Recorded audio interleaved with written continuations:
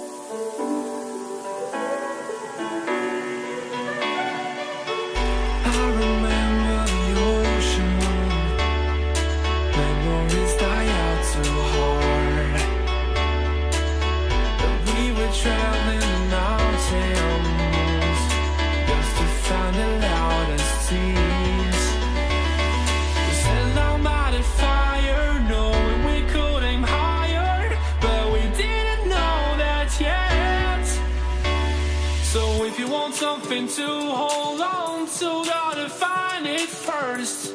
But here I am, cause I've been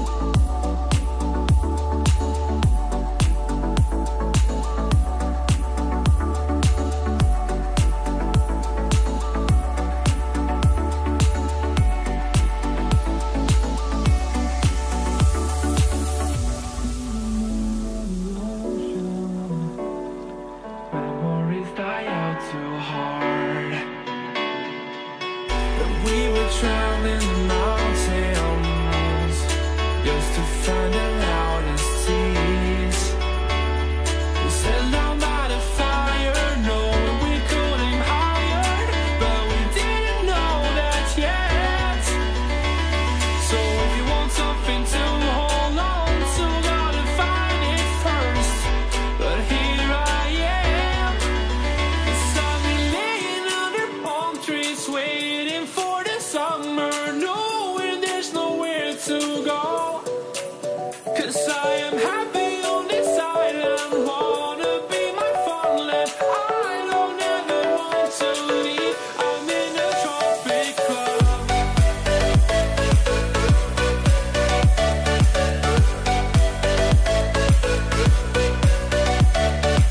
That's it for today's video. I hope you enjoyed watching it and found the content helpful. If you did, please don't forget to give it a thumbs up and subscribe to the channel if you haven't already. Your support means a lot and it helps me continue creating more amazing content for you. Feel free to share this video with your friends who might find it useful as well. Once again, thank you so much for tuning in and I'll catch you in another video soon. Until then, take care and stay awesome.